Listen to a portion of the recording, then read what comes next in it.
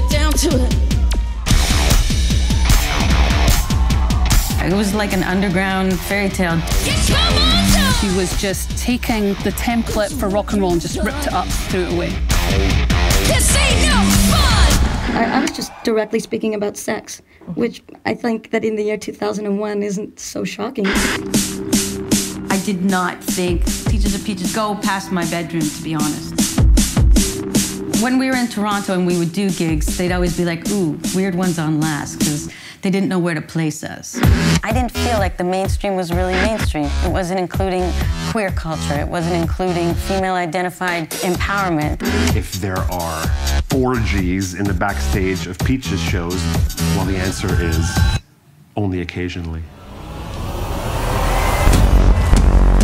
I'm not interested in anniversary tours,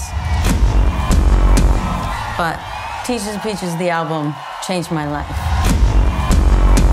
You have to connect with the audience. Like, this is your moment. And then, check out my fucking ass.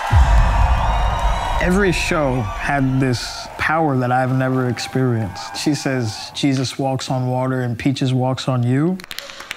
Grandma, you're scaring the kids. Sucking on my titties like you wanted me. Don't give a fuck about like how you're going to be perceived. I mean, just be committed to whatever feels right. Like immediately, it was like boiled in my brain. Beautiful celebration of a fuck you. I don't want to make a documentary where it's like, I used to have a career and now I'm just surrounded by cats and I'm a weird cat lady, but I am now.